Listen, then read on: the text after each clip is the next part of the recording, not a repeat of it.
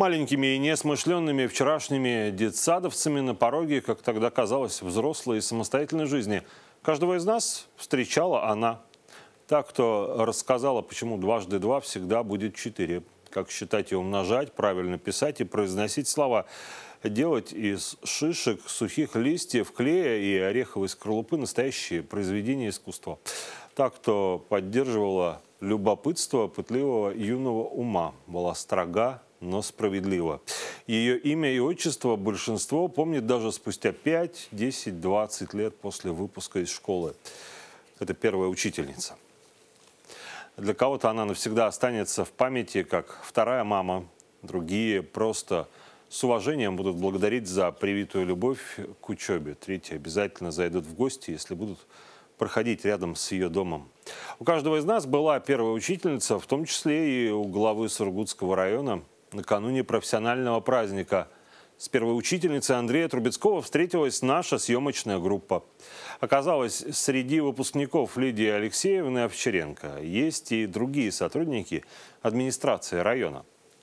О том, почему среди тысяч профессий Лидия Алексеевна выбрала именно педагогику, главные правила в работе с детьми и секреты, которые помогали на протяжении 51 года с улыбкой идти в школу, расскажет Валерия Кудрявцева.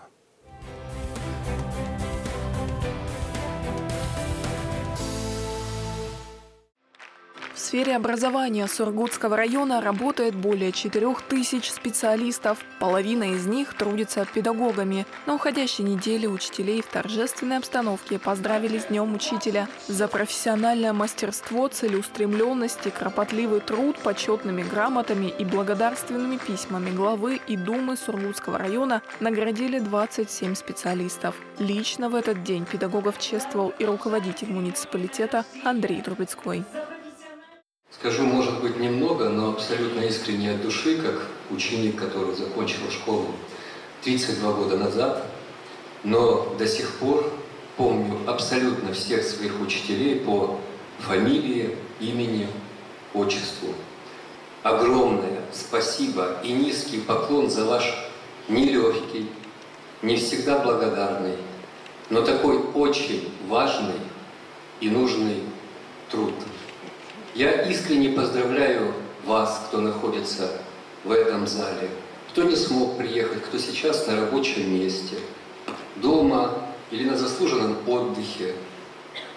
В том числе и свою маму, она давно на пенсии, но она педагог с 45-летним стажем.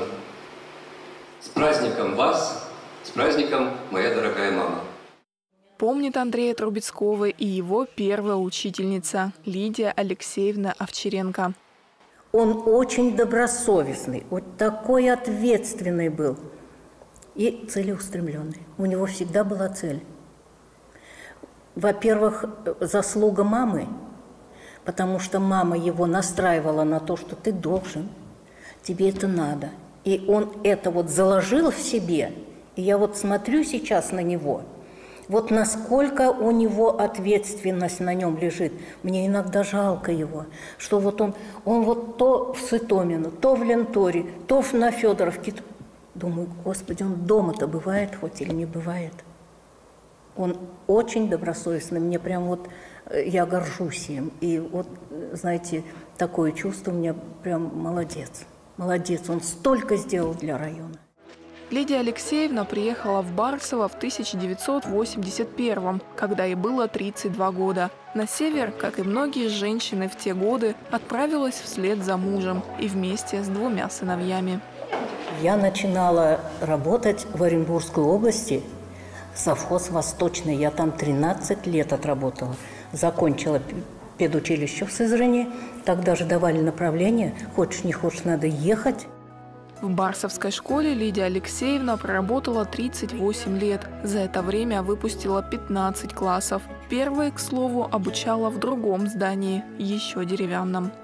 Я когда пришла в школу в деревянную, я так растерялась, потому что вот одно крыло, второе крыло, третье крыло, не знаешь, куда идти. А потом, когда сгорела школа, мы так все сожалели – потому что уютно было в ней. уютно. Директор школы, я когда приехал, директор школы была Кушнин Галина Павловна, такая строгая. Мы ее так боялись, она прям ходила вот, но она видела, кто как работает. И, и отношение, естественно, каждому учителю было особенное. Сколько лет проработала в деревянном здании, Лидия Алексеевна уже не помнит, но рассказывает о тех годах с особой теплотой и с болью делится моментом, когда старая школа горела. Жалко было прощаться с той школой, с деревянной школой. Мы, у нас ведь коллектив был раньше, знаете какой?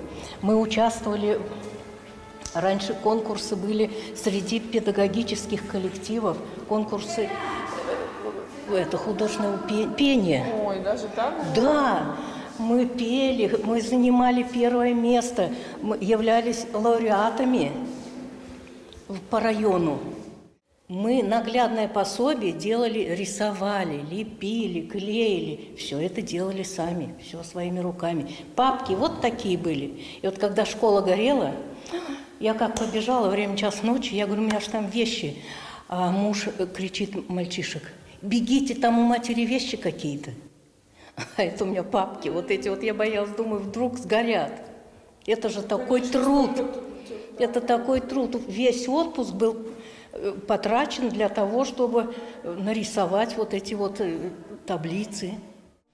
Лидия Алексеевна помнит всех своих выпускников. Среди них, кстати, не только глава Сургутского района Андрей Трубецкой, но и в недавнем прошлом заместитель руководителя муниципалитета Алексей Савенков.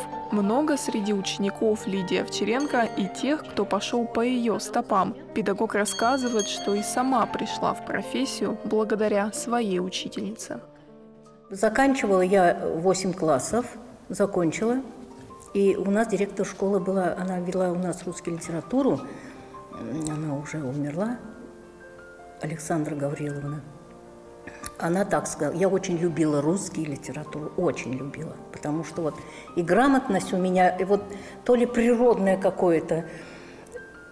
И она сказала, так, ты, ты, ты, вот назвала, идите, девочки, учиться на учителей, из вас получатся хорошие учителя. Все, у меня даже не было мысли такой.